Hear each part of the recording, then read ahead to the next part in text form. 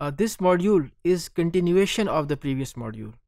You recall that I discussed and actually started discussing the design guidelines and discussed the design guidelines about authentication and authorization.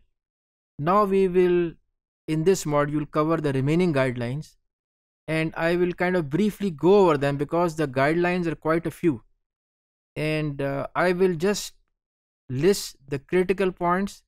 You can read the details in the course handouts. So let's begin.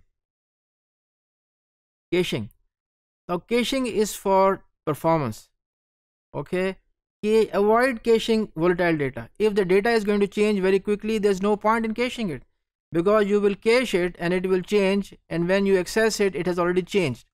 So there's no point in caching that data. Output caching for static pages understood. Obviously if these pages are static you cache them and when you go and check them they have not changed. Partial cache you can have a combination also. And pool uh, pool the shared expensive resources so that you can get the most with least uh, input. Cache data in uh, ready to use format. This is important. Ready to use format now if you have the data cached in a certain format which was stored obviously but you need the data in another format. So you get the data from the cache but you spend time processing time converting that data in the required format. So what is the fun of it? You have lost the time which was saved by that conversion. So be careful. Exception management. Now exceptions will happen can happen usually happen ensure that your system does not lands into a state where it is exposed to the users where it shows the faults to the users. Not for control logic flow okay? Catch exceptions if necessary. You have to think you have to plan you have to look at how the system will behave. And it means that you identify the exceptions before they happen maybe there is less likelihood of their happening. But the point is that if you catch those exceptions and you handle them beforehand then your system will not crash. It will be in a stable state. That will point to a professional work. Design a global uh, error handler. Uh, uh, you have those exceptions and if you are unable to catch them there is a global handler which will take care of those exceptions which you have not caught. The point is to give an impression not only give an impression but have a stable system. Display user friendly messages. Message like this cannot be done.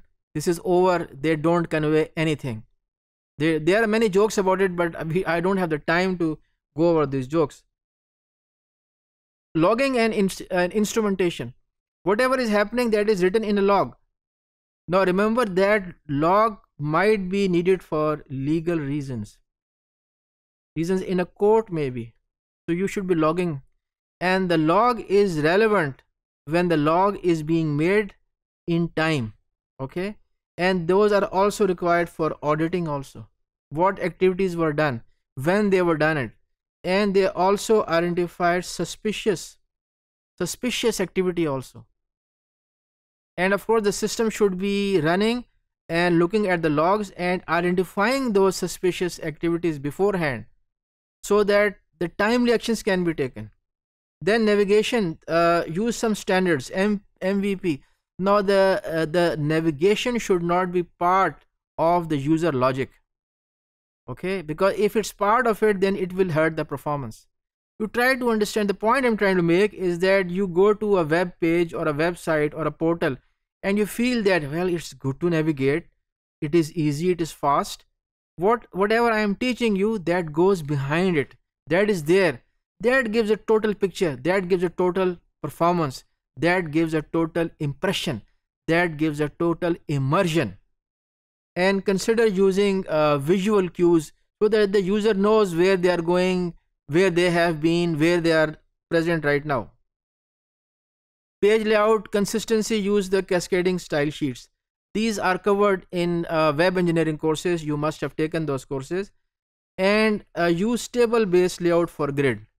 But remember one thing that you use a layout which will work on a mobile device also remember as i have mentioned in the previous modules that there has been tremendous increase in mobile based internet access so use a structure which not only works well in a desktop environment in a laptop environment but also in a mobile phone.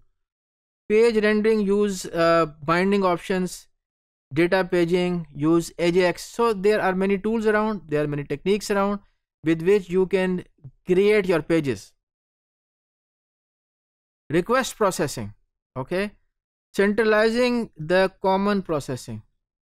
Use intercepting filter pattern and of course validation. You have to have trust boundaries and check the length of the password check the length of the CNIC number check the data type and do that at the client end and server end. Do not let your system crash. Thank you very much